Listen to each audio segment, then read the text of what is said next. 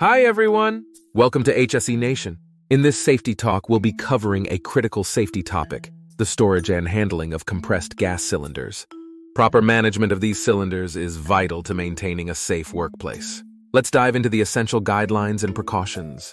Compressed gas cylinders contain gases under high pressure and can pose significant risks if not handled and stored correctly. Improper handling can lead to leaks, explosions, fires, or toxic exposure.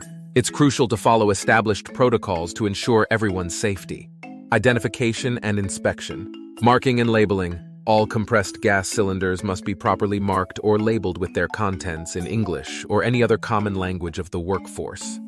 The supplier's identification tag should be verified against the cylinder contents. Regular inspections, cylinders should be inspected for damage, corrosion, valve leakage, and the current hydro test date before each use.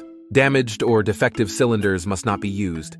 Handling guidelines. Slow valve operation. Always open the cylinder valve slowly to prevent damage to the regulator. Valves should not be opened more than 1.5 turns. Regulator use. Ensure an approved pressure-reducing regulator with a check valve is connected to the cylinder valve. Regulators should be closed prior to connection, and the cylinder valve closed before attempting to stop a leak. No lubricants. Do not use oil, grease, or other hydrocarbons as lubricants on valves, fittings, or threaded attachments. Storage requirements. Safe and accessible locations. Cylinders should be stored in a dry, well-ventilated area prepared for that purpose. Bulk storage should be kept off-site and the quantity of cylinders at job sites to a minimum. Segregation. Oxygen cylinders and other oxidizers must be stored at least 6.1 meters or 20 feet away from flammable gas cylinders or be separated by a fire-rated barrier at least 1.5 meters or 5 feet high. Temperature control. Ensure cylinders are not stored in locations where temperatures can exceed 54 degrees C or 130 degrees. Protective enclosures or sun shelters should be installed as needed. Important safety measures. No smoking, smoking, and other ignition sources are strictly prohibited near storage areas. Prominent no smoking and gas cylinder storage area signs should be displayed in English or any other common language of the workforce. Fire extinguishers, water and dry chemical fire extinguishers must be available within 15 meters or 50 feet of the storage area. Securing cylinders, all cylinders must be secured in an upright position using chains or bottle racks wherever possible.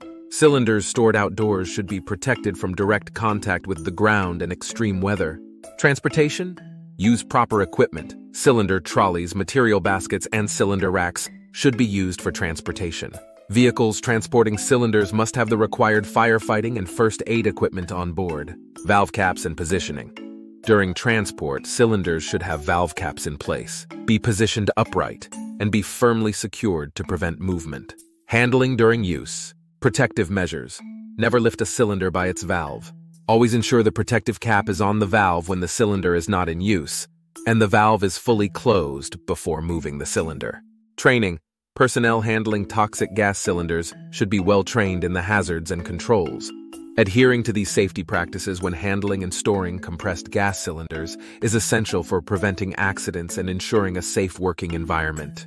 Remember, safety isn't just a priority, it's a responsibility. Stay safe.